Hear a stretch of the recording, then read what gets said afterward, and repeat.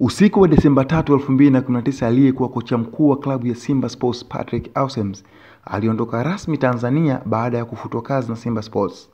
Ausems akiwa airport jijini Dar es Salaam kabla ya kuanza safari iliyomuonesha kuwa atapitia Amsterdam, Uholanzi, alitumia kurasa zake za mitandao ya kijamii Instagram na Twitter kuandika ujumbe mzito wa wazi kwa klabu, mashabiki na mwekezaji wa timu hiyo Mohamed Dewji.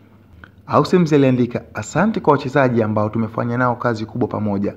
Asante kwa mashabiki kwa sapoti yenu isiyoweza kuelezeka. Kutoka ndani ya moyo wangu nawatakia kila la heri. Asante Mungu kwa kunileta nchi nzuri, lakini kwa ajili ya kukua ni wazi Simba lazima iondoe waongo na wasioelimika katika bodi ambao ndio kikwazo kikubwa kwa maendeleo ya klabu. Kwa sasa ni muda muhimu wa mimi kufurahia kitu muhimu katika haya maisha, familia na watu wa kweli. Kwa heri Tanzania. Huu ndio ujumbe aliouacha uh, Patrick Ausems kwa wanasimba na mwekezaji wa klabu hiyo kupitia ukurasa wake wa Instagram, lakini inaonekana kama kuna watu ambao anadai mwenyewe walikuwa wanakwamisha baadhi ya mambo ya kimaendeleo ndani ya Simba.